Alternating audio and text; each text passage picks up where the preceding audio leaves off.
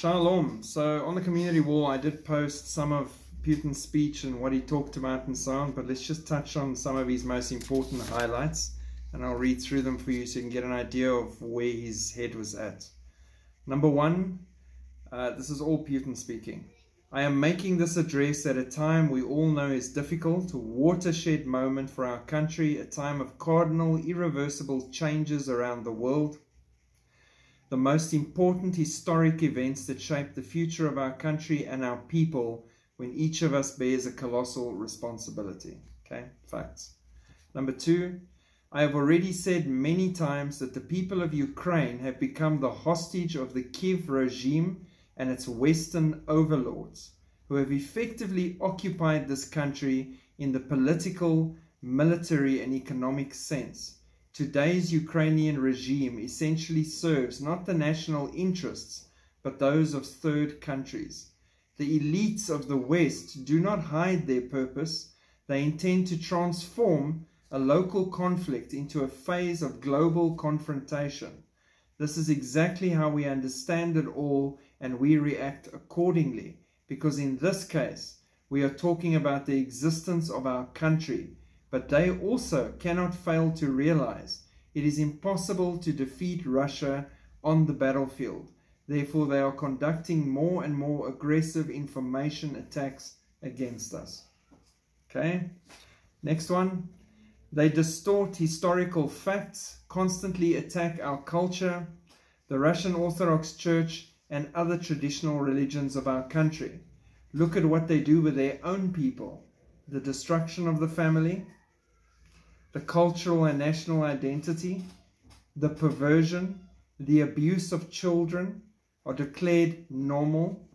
Priests are forced to bless same sex marriages. As it became known, the Anglican Church, Anglican Church plans to consider the idea of a gender neutral God. Millions of people in the West understand that they are being led to a real spiritual catastrophe. Truth. Truth. They want to make the Russian people suffer with sanctions, but their calculations did not materialize. Those imposing sanctions are punishing themselves. They've caused price hikes, job losses, and an energy crisis. And we hear them telling their own people that the Russians are to blame. The Russian economy and management system turned out to be much stronger than the West believed. We ensured the stability of the economic situation, protected citizens, saved jobs, prevented market shortages, including essential goods, and supported the financial system. Also building a new system with China and India. Then lastly, they, the West, want to inflict a strategic defeat on us and sneak into our nuclear facilities.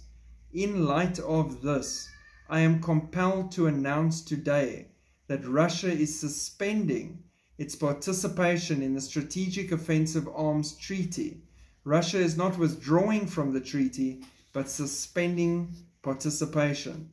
The United States is developing new types of nuclear weapons. In this situation, the Russian Ministry of Defense and Rosatom must ensure readiness for testing Russian nuclear weapons.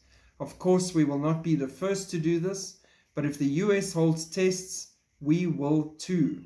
No one should be under any dangerous illusions that global strategic parity can be destroyed. Now, that's a big one, okay? Suspended and step back. He can do what he wants. And now he's pretty much saying to America, your move. Go ahead and try and test something and see what happens. Or is he getting ready to launch? All these things are potential possibilities. So very tense. He did not declare war as we expected he would outright. There was nothing major, even though on the Russian telegram groups they showed pictures of their fighter planes ready to go, saying tomorrow's tomorrow on the anniversary. So we don't know. Something's holding back, but I do believe they are prepping. They know more than they're saying, obviously, keeping their cards close to their chest we'll see what happens, or maybe we'll see it on the way up. Because most of these rapture dreams and visions, we go up as the missiles come down. So who knows? I just know it's not for us to stress about. it is good for us to see these things developing as fast as they are. This is not something that's going to switch off and walk down very quickly. This is going forward full tilt. God bless. Keep watching and looking up. Shalom.